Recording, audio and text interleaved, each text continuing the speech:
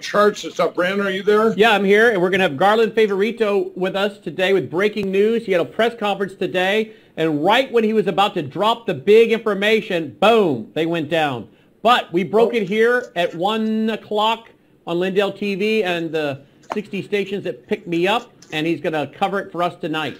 And, and then next... Okay, what, what, when you, when you say it went down, what went down there? Uh, their live stream? Yeah, their live stream went down. They were out streaming on Rumble, and and all of a I'll sudden, tell you, you know, you know they they're they're trying to stop this everywhere. You know, every every time something comes out, it's like, what can they do to suppress it? Yep. It's very interesting, everybody. That uh, I'm I'm hearing from all over the country right now. And my phone's filled up with, Mike, you've been vindicated. You've been vindicated. It's like the whole topic of the country is machines, machines, and machines. Yep. Unless you're watching what? Fox. Fox. Yep. Right. Fox and Newsmax, everybody. You're not going to hear about machines or Salem Media right now. But, you know, they're going to come around. I believe that, don't you, Brandon? I mean, how do you deny it when you've got, uh, we're going to hear tonight, everybody, Brad Raffensperger, who I've, who I've said, um, the, the most, uh, in my opinion, the most corrupt uh, Secretary of State in the country, even more than the Democrats, because uh, what he has done to the state of Georgia, to the American people, and to our country is just it's just disgusting. And and to see him polling at 38 or 39 percent, and then he gets 52 percent three days later. We're gonna, I think we're going to find out tonight that's virtually impossible, um, or it is impossible. Um, the um, otherwise, you know, Brandon, and then the one I love the most, Brandon, that we're going to see is is uh, the Democrat that got zero votes, and her husband and her voted for them.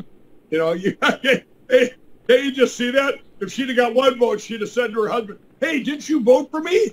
No, but uh, but zero votes. Yeah, I mean, you know something's wrong when you get zero votes, and then and then they find three thousand, and you go from third third place to first place. And I want everybody to know, you guys, this isn't paper ballots we're talking about. This is machine manipulation by Brad Raffensperger down in Georgia. Okay. Um, and uh, I've been talking about Brad Raffensperger. He's got to be my number one that I've talked about over the last year and a half. Don't you think, Brandon? yeah, absolutely. It didn't. It took me a long time to learn how to pronounce his name, but I got it down now. Um, and uh, you know, and it, it's one thing too when you keep coming up. I mean, even passed up Alan Duke because Alan Duke for a while there we thought he was going to be maybe he would uh, vindicate himself and actually come clean and tell the American people how ashamed he is and sorry he is for covering up all those articles back then about machine fraud and machine crime in our country getting attacked by China in this election. And, uh, and old Alan Duke just kept covering up and everybody, I gave him information in January. We signed a non-disclosure and he said he would report it if it was all um, um, if it showed the manipulation and the algorithms, and it did, and he did not report. He's went completely silent on us, everybody. One of these days, I think we should put up his phone number again on here. Um, it's on his website, Lead Stories. Is it leadstories.com, Brandon? I'll double check. I'll double check. Yeah, double check that. I think uh, the people should be reaching out to Alan Duke and say, why are you why are you not reporting this to the American people now that it's coming out everywhere? It is. It's leadstories.com. Leadstories.com. Alan Duke's number right on there. Remember, they're the Facebook fact checkers. They're the ones that covered up absolute proof back in the day and put contains nudity and porn. He says he didn't do that. He sure looks guilty now, doesn't he, Brandon? yes. And by the way, um, we're going to continue the coverage on this topic uh, after the Worldview Report tonight. I'll be joined by attorney Kurt Olsen, and then I will be joined by uh, Colonel Sh- uh, Sean Smith. And today I have spent the afternoon reading the declaration of Colonel Sean Smith, and there's quite a few interesting things in this declaration. Yeah, let's uh, let's uh, let's not confuse these two things, so everybody. One of them is all the corruption that just came out of the Georgia primaries. The other one Brandon is talking about is the preliminary injunctions that are being going on in every single state. We're, but we started with Arizona, Kari Lake, Mark Finchem, and today or yesterday, Brandon, uh, what did they turn in that you're going to be talking about tonight? These are the actual um, injunctions to get rid of the machines, right? Mhm. The actual, all the evidence and everything in the state of Arizona. Is that correct? That's right. This is the case. Kari Lake is the plaintiff versus Katie Hobbs, who's the Arizona Secretary of State. She's the defendant. And this this one here is just the declaration of Sean Colonel Sean Smith, who has an incredible background in the military and his training and his degrees to be able to speak to this issue. And what he uncovers in this uh, declaration, which I spent the afternoon reading and marking up, um, is something out of a Tom Clancy movie as far as what China and the Communist Chinese and other countries have been doing to penetrate our government all the way to the White House.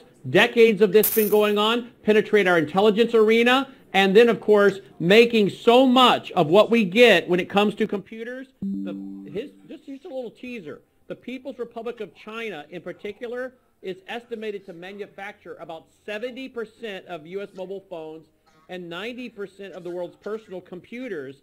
And the People's Republic of China is the primary source for U.S.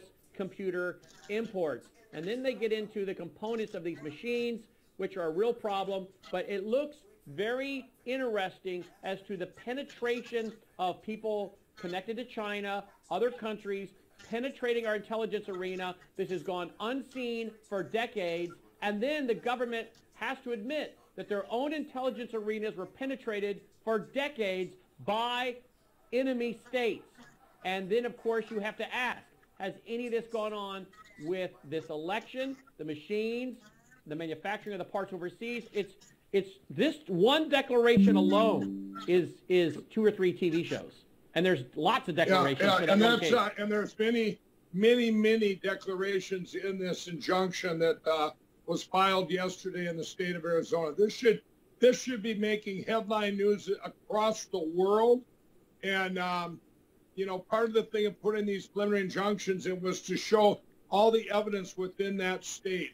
But there's so much commonality of all the states because it's remember computers go horizontal through uh, through it all.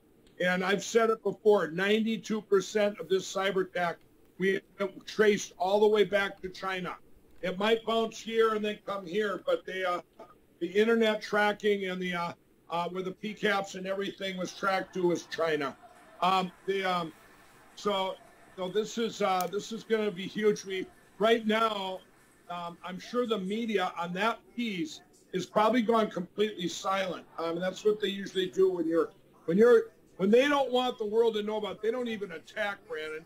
Um, Cheryl, if you're watching right now, you could break that press and you could do a, you know, that would be real great. Either do a thing about Georgia, which is already out there, or or you could get on board and do the, uh, you know, be the first one to say, hey, look at these, uh, look at the evidence in these injunctions. It's granted, it's over.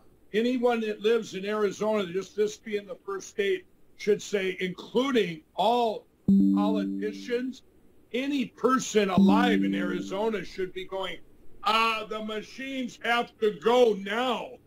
Period. Yep. And this, guys, this isn't just about Arizona. Arizona is just the first. If you're down in Arizona and you're that judge that this is before now, you've got to sit there and you've got to get, you know, don't be a blocker because this is to save our country. Um, old Attorney General Bonovich, is that who's, uh, uh, am I saying his name right down there? Yep. Hmm In Yeah, Arizona. He, uh, he needs to uh, either embrace this and say, you know what, in light of uh, in light of the evidence, Arizona, we need to go machine free and right now. By the way, everybody, in the preliminary injunction, if you go to Frank's speech, I want to I want to go there right now, Brandon, before we bring in Garland. Go to Frank's speech to the website if you can. I want to show everybody. By the way, everybody, everybody on Facebook here that's watching, get the Frank Speech app now. Go to the App Store, get the app. Um, I would